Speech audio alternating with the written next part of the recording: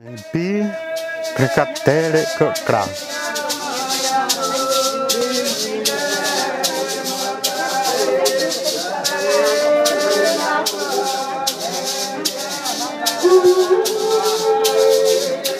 O povo Cricati, estamos divididos em seis aldeias.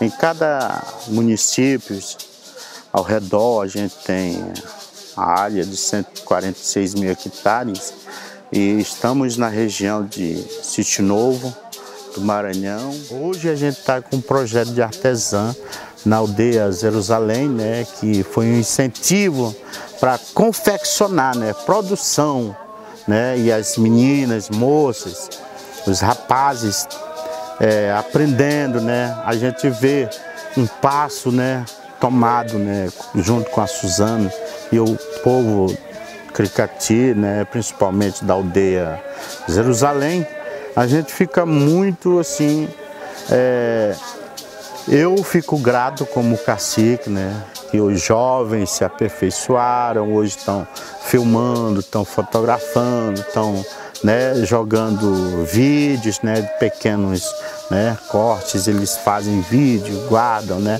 e divulgam na tela para o povo Cricati assistir. Isso foi um dos né, passos que eu, eu assim, da minha parte, fico honrado né, e acredito que amanhã teremos áudio, vídeos, né, através da Suzana. A Coisa de Índio é um, é um projeto onde se dá voz e, e espaço de criação para o indígena apresentar a sua cultura é, com o seu olhar.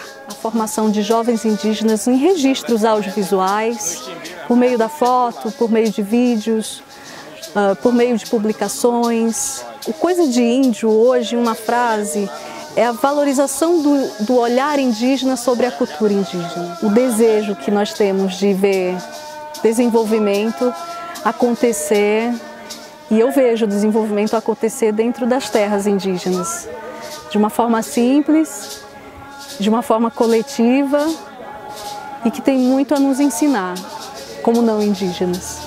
A nossa cultura, a nossa dança, nosso cântico e nossos artesanatos do, do uso do dia a dia também. Isso foi também é muito importante para nós preservar o que nós temos no nosso território Cricati.